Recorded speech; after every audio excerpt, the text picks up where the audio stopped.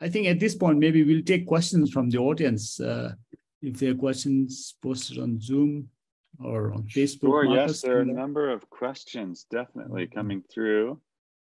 Uh, let's see. So, uh, since you were just talking, David, about your work with um, with the Yangti Nakpo stuff, uh, there's a question about your current work. Uh, David, I've been enjoying reading through your articles on Dzogchen.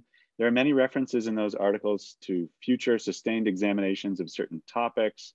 For instance, your history of Dzogchen. I wondered if you were still working on that material or if you had future Dzogchen publications that you're working on. So I guess they're just asking what you're doing, what you're doing now. Yeah, gotcha. Okay. so my life's a little bit complicated. Um, so like many years ago, I, I, wrote four large books and completed them. Um, one was about, one was a translation and annotation of Longchenpa's The Treasury of Words and Meaning. One was a, a kind of philosophical contemplative look at the Dzogchen Nyingtik and all its various aspects. One was looking at cosmological traditions and how they manifested in Longchenpa's life and um, that's a third book. And a fourth book was a, a, very deep dive into the scriptures and literature and how they all relate to each other and so on. And then what happened was two things. One, like all those years, I'd been looking for commentaries on the 17 Tantras, which are the original scriptural base of the Dzogchen Nyingtik tradition. And they manifested uh, in uh, about you know 15 years ago or so or 20 years ago and suddenly i had like 5,000 pages of commentary on the text that I'd been working with, these terse, aphoristic uh, scriptural tantras. And, um, and they were not easy to read, they're challenging. And so I thought, like, oh, I don't want to publish these when I have these books I should read, but they weren't like a hop, skip, and a jump to read. And then the other thing that happened was at that point, I began to to go back to Karma's way of framing this um, gathering today.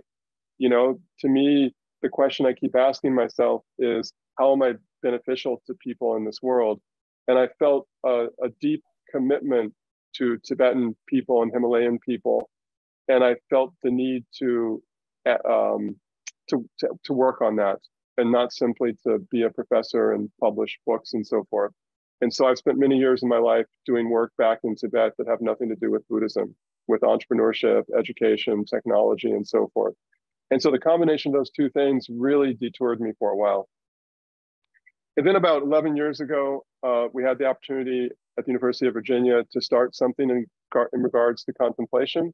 And so we started what has become one of the largest uh, centers in the world focused on thinking about contemplation in the context of our, of our educational systems, the uh, Contemplative Science Center.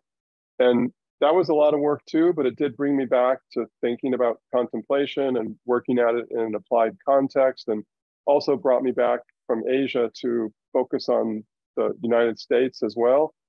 And so over the last four years, I've been able to successfully gradually get myself back into the world of, of creating um, and writing text and so forth. And so Unfortunately, I started new projects like the Dark Retreat project that James and I are working on. Uh, but I am now working back on these things, and I'm working back on those commentaries on the 17 Tantras, which I spend a lot of hours every week with various people around the country uh, working on, trying to translate. And so um, I have a series of leaves over the next four years where even while I continue to help with the Contemplative Science Center, I'm going to be producing those books finally. So those things will start to emerge. I, I just finished um, a piece on divine creation that will come out in this volume uh, in honor of Janet Gyatso, I guess next year. I've also finishing up a piece on a big piece on effort and effortlessness that will come out in a journal, uh, hopefully before the year is over. So, so that's kind of where things are.